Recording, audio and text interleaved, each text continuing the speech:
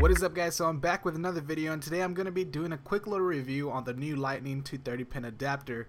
Now as we all know, Apple's latest iPhone 5, iPod Touch, iPod Nanos, and future iPad mini and devices like that have or will in the future have the new Lightning port instead of the old 30 pin connector. Therefore you can't use all your 30 pin cables to charge and sync your devices but with the new lightning to 30 pin adapter it actually converts your old 30 pin cable to a lightning cable. One thing I do like about this adapter is the ability to use it just as your normal lightning cable because it actually fits on devices that have cases.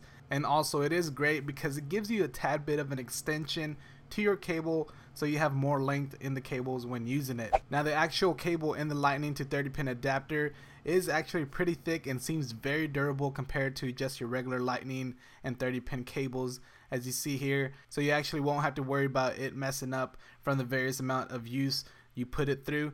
Also, this adapter is very useful for many other things such as docking stations like radios and all that, and also your car stereo plugs. Since most likely they're going to have the 30 pin connector, simply plug this in and you're good to go. Now, Apple does manufacture two different Lightning to 30 pin adapters, one being this one with a cable extension and another with no cable.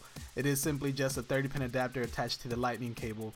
Anyways, this adapter will run you at $40 and the other lightning to 30 pin adapter with no cable will run you $10 cheaper for $30. But anyways guys, let me know what your thoughts about it are in the comments down below. Will you be picking up one of these adapters soon for your device? And as always, hit that like button to show me that you like this video. Helps me out a lot and it shows me that you like more of these type of videos.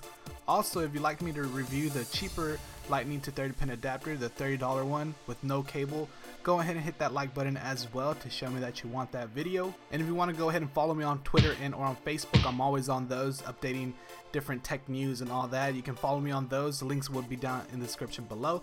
And if you feel like being awesome, go ahead and subscribe to the channel for videos like this and so you'll be notified when I do come out with my latest videos.